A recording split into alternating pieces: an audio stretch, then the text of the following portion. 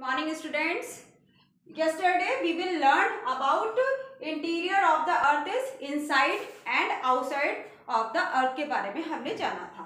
आज हम interior of the earth में, जैसे मैंने कल आप लोगों को बताया था कि इनसाइड पार्ट में अर्थ को तीन पार्ट्स में डिवाइड किया गया है क्रस्ट मेंटल एंड कोर में।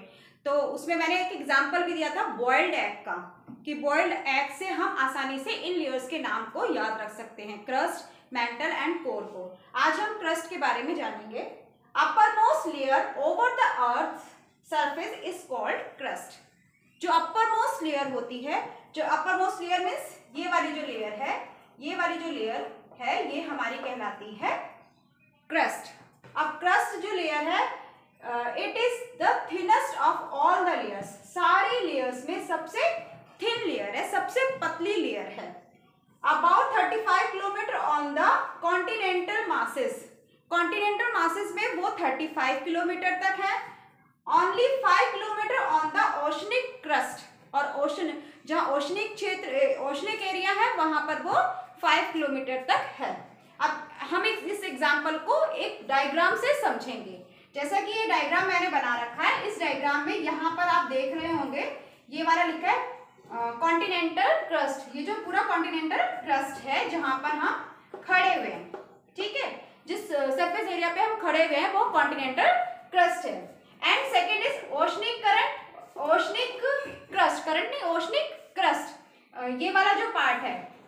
अब ओशनिक क्रस्ट हम किसे कहेंगे? अब आप बोलोगे, वहाँ पे तो पानी भरा रहता है। वहाँ पे क्रस्ट कैसे हो गई? लेकिन उस पानी के नीचे भी कोई तो सरफेस होगा जहाँ पर हमारे पैर टिकेंगे तो वो हमारा ओशनिक क्रस्ट कहलाएगा ठीक तो ये वाला जो पार्ट है ये ओशनिक क्रस्ट कहलाता है क्लियर है? इस पूरे उसमें सेंडिमेंट्री डिपोजिशन और लिथोस्फीयर इनसे को ध्यान में रखना है, सिर्फ़ दो चीज़ों को ध्यान में रखना है। एक तो continental crust and oceanic crust ठीक है? अब हम इसको और इजीली समझने के लिए इस डायग्राम को समझेंगे। ये डायग्राम मैंने जैसे बताया था, ये बहुत थिन लेयर होती है। अब इस थिन लेयर में टू पार्ट्स में डिवाइड है ये भी, जैसे कि continental crust continental crust and oceanic crust continental crust अगर हम इसको और डीपली समझे तो ये वाला जो पार्ट है ओ, ये आपका कॉन्टिनेंटल क्रस्ट है जो बहुत सेडिमेंटल रॉक्स होती है उसमें बीच बीच में बहुत ज़्यादा स्पेस होता है और ये बहुत फूला हुआ फैला हुआ होता है। ठीक है इसलिए 35 किलोमीटर है। और जो ओशनिक क्रस्ट है यानी कि ये वाला जो पार्ट है ओशनिक क्रस्ट ये फाइव किलोमीटर तक है क्योंकि ये जो बना हुआ है ये बहुत ज़्यादा मतलब इस बहुत ज़्यादा हैवी है। हैवी मीन्स जैसे ये सिलिका और मैग्नीशियम से बना हुआ है, बहुत ज़्यादा हैवी होता है, इसीलिए ये फाइव किलोमीटर है।